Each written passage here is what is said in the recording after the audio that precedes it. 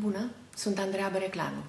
Vă mulțumesc că urmăriți Salvați cu povești, o inițiativă a organizației Salvați Copiii. Copiii care trăiesc în mediul sărac și care sunt în aceste momente extrem de vulnerabili. În această seară, pentru că poveștile se citesc seara, înainte de culcare, o să citesc Coronița.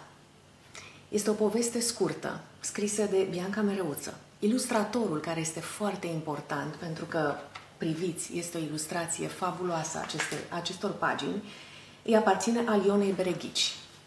O să funzăresc puțin cartea, cărticica, pentru că este pentru copii, ca să vedeți mai întâi ilustrația, apoi, bineînțeles, că o să vă citesc și povestea, care e foarte frumoasă și care eu cred că se potrivește la orice vârstă, nu doar pentru copii sau copii foarte mici. Imediat o să aflăm și despre ce este vorba. Văd că sunt foarte, foarte multe flori. Așadar, coronița.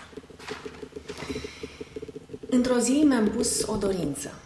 Am visat că atunci când se termină școala, doamna învățătoare să ne dăruiască fiecăruia cât o coroniță. Mirei să-i fie dată în dar o coroniță de floarea soarelui, pentru că ea este luminoasă și prietenoasă cu toți. Luca să primească o coroniță de maci, fiindcă este atât de calm și își așteaptă întotdeauna rândul. Pe Ana mi-am imaginat-o cu o coroniță de bujori. Ea știe să ne strângă la un loc ca să facem cu bucurie lucruri împreună. Iar pe Tudor l-am văzut cu una de lăcrămioare, pentru că, deși nu poate să meargă, el face lucrurile așa ca noi. Pentru Iulia s-ar fi potrivit o coroniță de margareta, căci întotdeauna găsește cele mai simple soluții la proiectele noastre. Ritei, în gândul meu, îi venea bine o coroniță de garofițe, deoarece atunci când pe unul dintre noi îl doare ceva, ea îl alină. Mi-am dorit ca lui David să-i dea o coroniță de hortensii, pentru că el întotdeauna mulțumește atunci când cineva îl ajută. Cum uh, Iasmina se bucură de fiecare veste, știam că Iasomia i s-ar asorta.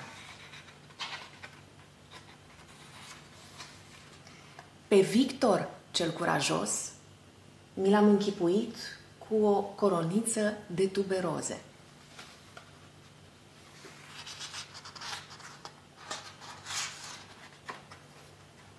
Irina, ar fi fericită să poartă o coroniță de lavandă, pentru că ea tot timpul dorește să facem lucrurile corect.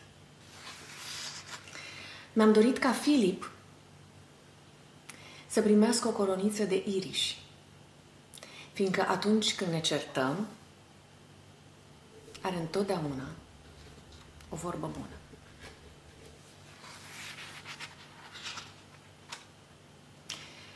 A doua zi, doamna învățătoare a venit la școală cu un braț imens de flori și ne-a spus sunteți cu toții minunați.